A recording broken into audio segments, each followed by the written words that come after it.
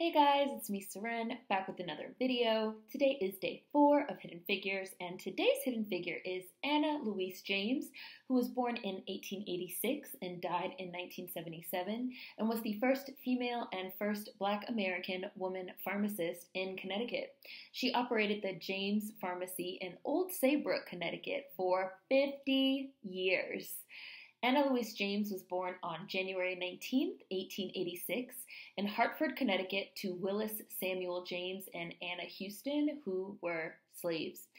Her parents were enslaved on a plantation in Virginia, and at the age of 16, her father utilized the Underground Railroad in order to escape with his family to Connecticut.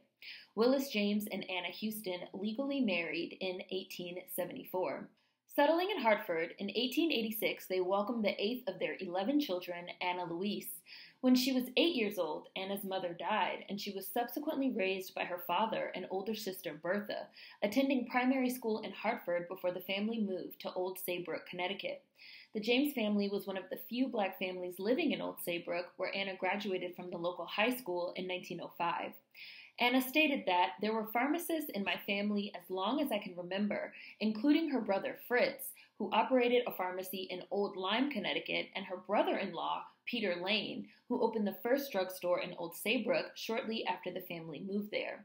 The husband of Anna's caretaker, Bertha, her older sister, Peter owned and operated the pharmacy business called Lane Pharmacy, while Bertha ran several businesses as a state licensed barber, chiropodist, and linen embroiderer. At the time, Fritz, James, and Peter Lane were the only two black pharmacists in Connecticut. Anna attended the Brooklyn College of Pharmacy as the only woman in her class, becoming the first black American woman graduate in 1908. The following year, she became the first black American woman to be licensed as a pharmacist in Connecticut, despite the fact that the Connecticut Pharmaceutical Association rejected her application for membership because she was a woman and suggested she join the Women's Auxiliary Club instead. After graduating, Anna worked a short time in Hartford before returning to Saybrook in 1911 to join her brother in law in his drugstore. When Peter returned to Hartford in 1918 to accept a position with the Sisson Drug Company, Anna Louise took over the pharmacy, making her both the first female and first black American woman pharmacist in Connecticut. So she was the first woman overall. And she was also the first black American woman as well. She moved in upstairs, became the sole owner in 1922, and renamed it James Pharmacy. James and her family made sweeping improvements in the historic building, which was originally built in the 1790s as a general store. Peter Lane added a popular soda fountain with granite counter and heart-shaped metal chairs and tables in 1896, and Anna Louise added a two-story wing in 1922, an arcaded front extension, and built-in display cases and glass door cabinets in 1925. In the early 1930s, Anna Louise also hired architect Francis Nelson to redesign the building, adding an entire ice cream parlor and moving the entrance. Described as a small woman with a soft voice, pulled back hair in a tight bun, and a stern face covered by rimless spectacles, Anna Louise insisted that everyone call her Miss James, even friends and family members, and for more than 50 years dispensed prescriptions to cure illness and soothed the minds and hearts of generations of Old Saybrook residents and visitors. A kind, trusted, and well respected figure in the community, she was friendly and neighborly, scooping ice cream for children and serving as a listening ear or shoulder to cry on for the adult residents of Old Saybrook. Community members often stop by for advice and assistance with ailments of all kinds, despite the fact that the tiny shoreline town of barely a thousand people was majority white, and the Jameses and the Jameses, excuse me, that's always tough, and the Jameses were a black family of pharmacists. While the James family initially experienced racism and resistance from the police department and other residents of Old Saybrook, after establishing the pharmacy with Anna Louise at the head, she became a cornerstone of the community. From a profile of James, this is what it says, obviously. She thrived professionally and became a cherished local legend. She knew everyone, and everyone knew Miss James. She dispensed medicine, scooped ice cream, and what is still the ultimate symbol of trust to the shoreline summer community. She held the keys to vacant cottages during the winter. Like, that's that trust. Take my keys. Miss James had the highest possible reputation, recalled Harriet Naughton, who lived next door to the pharmacy. She was someone you could trust with your life, which you did, since she was a pharmacist. She was a civic personality, so to speak, and she had a role in town as Miss James, the pharmacist. Because of this, James was a central figure in Saybrook, and her pharmacy was considered a community gathering place. In 1920, she also became one of the first women to register to vote in Old Saybrook and was politically active as well as the oldest member of the First Church of Christ in Old Saybrook.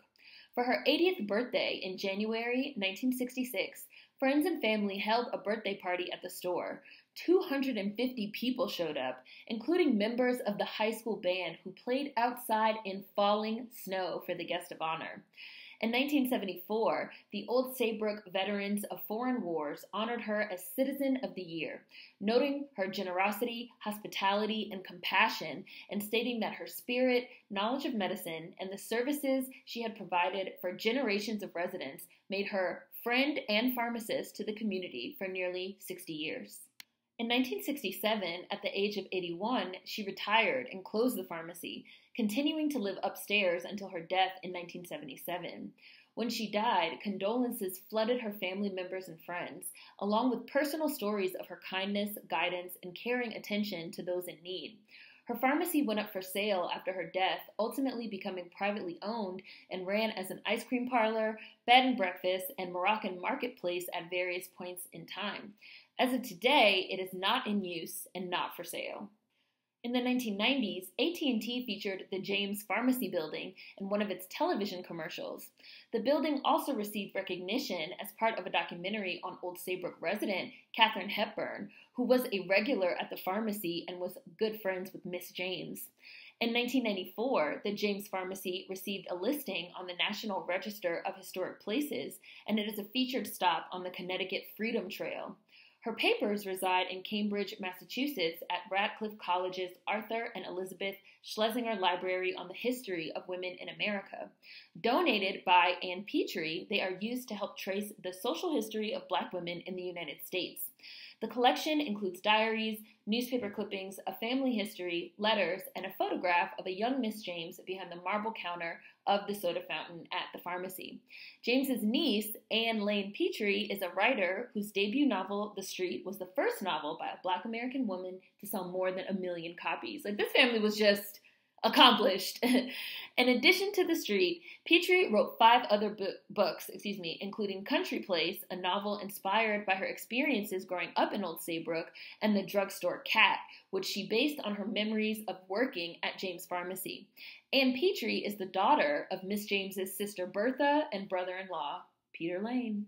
She really was, in spite of her stern quality, a wonderful woman, Petry said. She took care of everybody. She was willing to listen to people's problems. Everyone adored her. You could tell in how they greeted her. She was just all things to all people, said Barbara Maynard, a longtime Old Saybrook resident. She always gave you the feeling of, don't worry about it, honey, I can take care of it for you. She was kind of like a member of everybody's family. If you had a cut from a clamshell, if you were bitten by a crab, if you had poison ivy, you went to Miss James, Maynard says. She would not only treat it, but sell you the medication you wanted. Everyone came to Miss James looking for help. And that's Anna Louise James, Miss James, a hidden figure.